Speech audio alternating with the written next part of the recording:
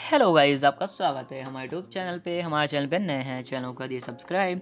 Video पसंद आया तो वीडियो कर दीजिए लाइक। तो गाइस, आज हम सीखने वाले हैं how to off colour correction. आप कलर करेक्शन कैसे ऑफ़ कर सकते हो?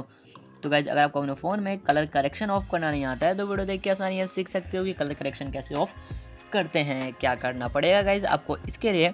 सबसे पहले गाइज़ आपको जो फ़ोन की सेटिंग होती है, फ़ोन की सेटिंग पे चले जाना है। तो सिंपली गाइज़ हम फ़ोन की सेटिंग पे आ जाते हैं। हम फ़ोन की सेटिंग पे आ गए हैं गाइज़ कलर करेक्शन को ऑफ़ करने के लिए। तो सिंपली नीचे स्क्रॉल करना है, नीचे स्क्रॉल करेंगे तो आपको यहाँ पे एक ऑप्शन दिखेगा एडिशनल सेटिंग्स का। एडिशनल सेटिंग्स पे आपको सिंपली क्लिक कर देना है।